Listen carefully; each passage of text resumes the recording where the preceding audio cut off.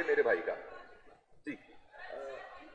आपने बताया कि इस पूरे रीजन के अंदर लाइलमी है मतलब इंडियन साइड से भी लाइलमी है और पाकिस्तानी साइड से भी। तो एक एलिमेंट तो है जो टॉलरेंस का है जो बहुत ही एबसेंट है हमारे रीजन के अंदर तो आ, आ, हर बंदा इसकी अपनी डेफिनेशन देता है।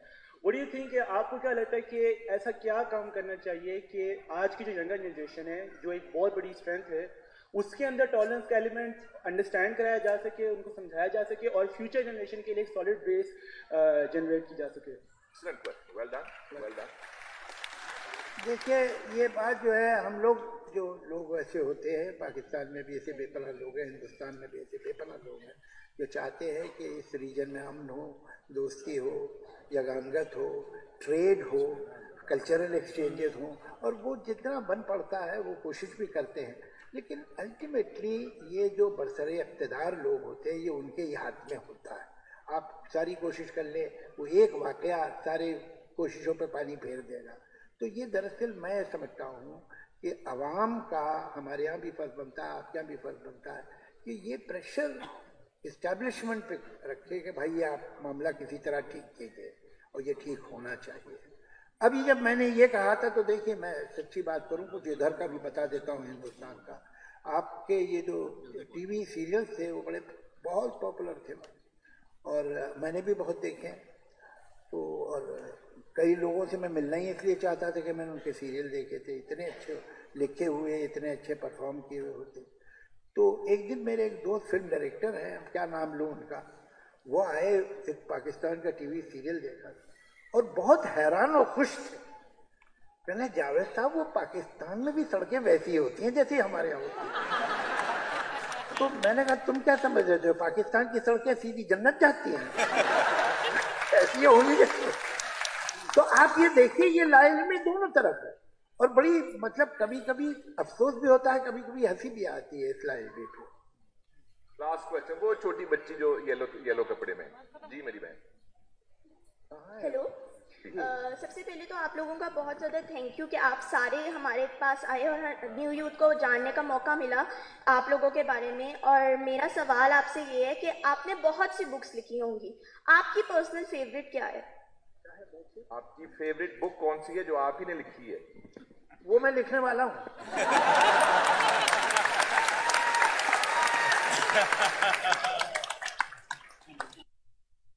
ओके जिन जिनके हाथ में मैं अभी लेता हूँ मज़ा चाचा जिनके हाथ में जावेद साहब की किताब है, मेरी बहन लाल कपड़ों में संग्रफी कपड़ों जी जी जी। अरे बस बस बस बस बस। नहीं नहीं नहीं, ये मेरी बहन मेरी बहन। ये मेरी बहन। अरे भैया, इधर भी थोड़ा, इधर हॉल चाह रहा है सुन एक ही दफ़ा सुनते मैंने सुन लिया मैं करता हूँ फरमाइश। नहीं मगर एक बात मैं आपसे अर्ज़ करना चाहूँगा मैं आपके सोशल पॉलिटिकल प्रेफरेंसेस जानता हूँ लेकिन सारे के सारे सवाल लेफ़्ट विंग से आए ये बात ठीक नहीं है। बेचारे राइट विंग को भी तो कुछ पूछिए आप ठीक है। Aslam Javed Sahab thank you so much Pakistan आने के लिए। Uh, मेरा सवाल ये है कि आप जब शायरी करते हैं तो उसका प्रोसेस क्या होता है? मसलन आपको जहाँ पे भी कोई ख्याल आता है या सोच आती है आप उसका कोई ड्राफ्ट बना लेते हैं या आपको कोई बहुत सिक्लूडेड जगह चाहिए होती है पीसफुल जहाँ पे बैठ के आप लिखते हैं? जनरली आपका राइटिंग प्रोसेस कैसा है? मेरा ख्याल है हर राइटर का चाहे वो प्रोज राइटर हो पोइट्री राइटर हो उसका प्रोसेस कुछ अपना ही होता है। आ, लिखना मेरा आखिरी काम होता है। मेरा हाफजा ठीक है तो मुझे एक कोई ख्याल ज़रा सा आया मुझे ऐसा लगता है इसमें इम्कान है। आ, मैं फिल्मी गाने लिखता हूँ तो वो तो एक कमीशन है जो कि डेडलाइंस का लिखा जाता है भाई। अट्ठारह तारीख तक ये गाना दे देना है। आई कैन राइट राइट है तो आप लोग आपस में बात कर रहे होंगे। गाए नहीं। गाने से मुझे डिस्टर्बेंस होता है। आई कैन राइट है कहीं भी पब्लिक प्लेस में कार में प्लेन में रेस्टोरों में बीच पार्टी में जहाँ बातें चल रही हैं आई कैन राइट देयर वो प्रॉब्लम यहाँ तक मेरी दूसरी शायरी जो कि अब उसे मैं लिटरेरी कहूँ या जो भी जो मेरी अपनी शायरी है जो आ, मुफ़्त में करता हूँ तो आ, वो मुझे ऐसा लगता है कि जब तक कि मुझे कोई ऐसा ख्याल ना आए कि मुझे लगे ये बात नहीं कही गई है या ये बात इस तरह नहीं कही गई है तब तक मैं नहीं लिखता। वरना तो वही बात जो सौ बार लिखी गई है, उसे एक सौ एक बार लिखने का मतलब नहीं कोई। तो वो एंगल अगर आ जाए जहन में तो बहुत देर तक तो मेरे दिमाग में ही वो पकता रहता है डेवलप होता रहता है। And then I sit down and write one I feel that there is enough material कुछ लाइनें, कुछ मिसरे आ गए दौड़ उधर के।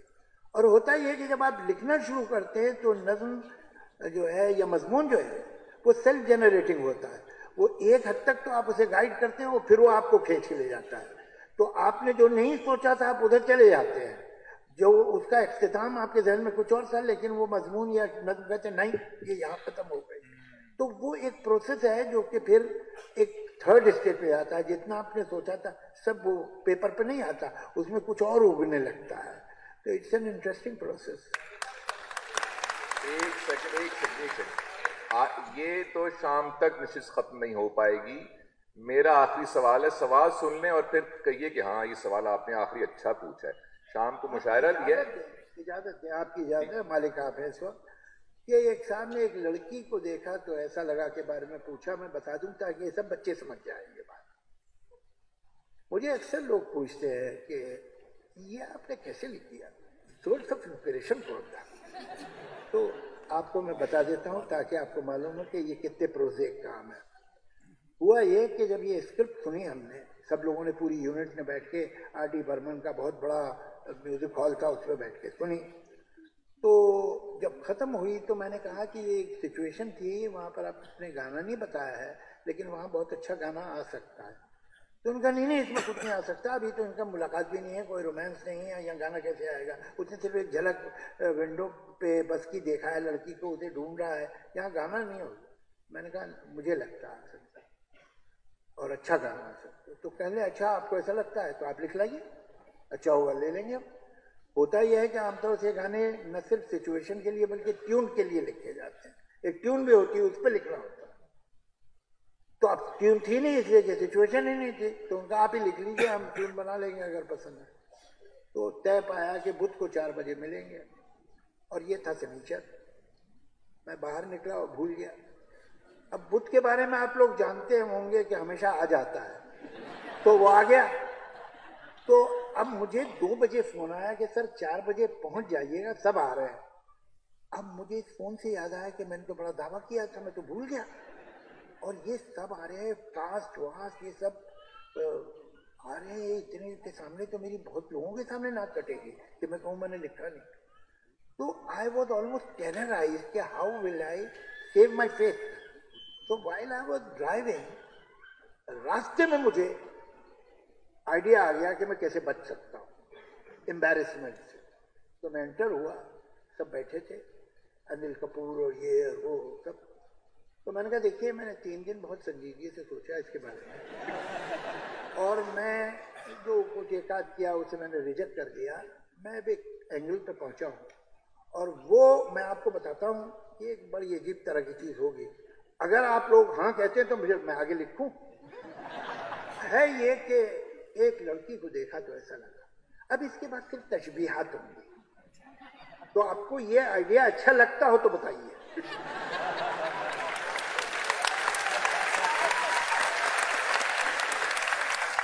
तो आर डी बर्मन ने कहा आइडिया तो इंटरेस्टिंग है एक काम करो यार, एक अंतरा यहीं लिख दो। अच्छा उसे मालूम था कि मैं एक घंटे भर में बहुत अगर वक्त लगता है तो डेढ़ घंटे में गाना लिखता हूँ। तो मैंने कहा अच्छा ठीक है, बैठता हूँ मैं दूसरी तरफ़। बैठ गया, मैंने पहला उसका अंतरा लिखा, दिल में शुक्र अदा करते हुए, कि बच गया मैं। फिर उसने कहा कि, ठीक है, उसने सुना और वैसे ही गाने लगा, जो ट्यून आप सुनते हैं, एक मिनट में वो गाने लगा। और कहा, ऐसे ही दो अंतरे और लिख दो, बस यही गाना होगा। ये था मेरा सोर्स ऑफ़ इंस्पिरेशन आखिरी आखिरी तीस सेकंड अरे अरे अरे अरे हम अरे अरे अरे अरे ऊँची अरे ऊँची आवाज़ थोड़े ही ऊँची आवाज़ थोड़े ही अरे अरे अरे अरे अरे ऊँची आवाज़ थोड़े ही आखिरी सवाल मेरा सुन लीजिए आखिरी सवाल सुन लीजिए मेरा सवाल आखिरी जावेद साहब से ये है कि क्या आप हमसे आज वादा करते हैं कि पूरी कोशिश करेंगे कि अगले साल खुद शबाना, जोया और फरहान अख्तर को भी लेकर आए। YouTube पर गुगली न्यूज़ देखने के लिए youtube.com की सर्च बार में गुगली न्यूज़ टीवी टाइप करें। गुगली न्यूज़ के पेज पर सुर्ख रंग के सब्सक्रिप्शन वाले बटन पर क्लिक करना ना भूलिए। YouTube पेज पर अपलोड होने वाली वीडियो से बाखबर रहने के लिए बेल आइकन पर क्लिक कीजिए। आपको हर नई वीडियो के बारे में नोटिफिकेशन मौसू हो जाएगा।